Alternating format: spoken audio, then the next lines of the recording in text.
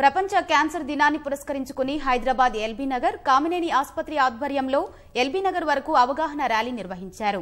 ఈ ర్యాలీలో వైద్య కళాశాల విద్యార్థులతో పాటు వైద్యులు ఆసుపత్రి సిబ్బంది పాల్గొన్నారు. క్యాన్సర్ని ముందుగా గుర్తిస్తే పూర్తిగా నయం చేయవచ్చని తెలిపారు. గ్రామీణ ప్రాంతాలలో పూర్తిస్థాయి అవగాహన రావాలని క్యాన్సర్ కారకాలకు దూరంగా ఉండాలని సూచించారు.